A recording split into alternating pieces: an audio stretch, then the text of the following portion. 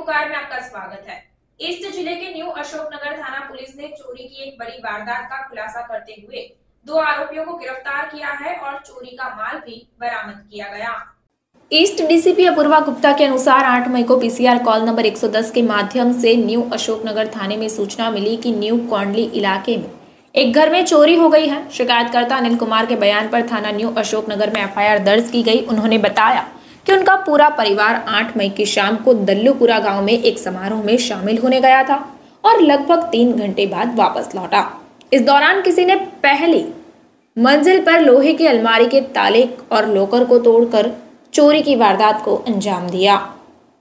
जाँच के दौरान पुलिस टीम ने तुरंत कार्रवाई करते हुए आसपास लगे सभी सीसीटीवी कैमरों की जाँच की और उनकी मदद से घटनास्थल तक जाने का रास्ता निर्धारित किया। शिकायतकर्ता के घर के किराएदारों और परिवार के सदस्यों के साथ साथ आसपास के घरों के किराएदारों से भी पूछताछ की गई और चोरी के तरीके के आधार पर यह संदेह हुआ कि परिवार का कोई सदस्य या कोई परिचित व्यक्ति इस घटना में शामिल हो सकता है या फिर अंदर से ही किसी ने सूचना दी होगी। सीसीटीवी फुटेज और गुप्त सूत्रों से मिली जानकारी के आधार पर कविता भास्कर की गतिविधियाँ संदिग्ध पाई गई। पूछताछ के दौरान कविता भास्कर सहयोग नहीं कर रही थी और उनके जवाब संतोषजनक भी नहीं थे। इसके बाद सीसीटीवी फुटेज और एक मुखबिर की सूचना के आधार पर सोनीपत से घर में चोरी करने वाले व्यक्ति की पहचान कर ली गई और उसे गिरफ़्तार किया गया।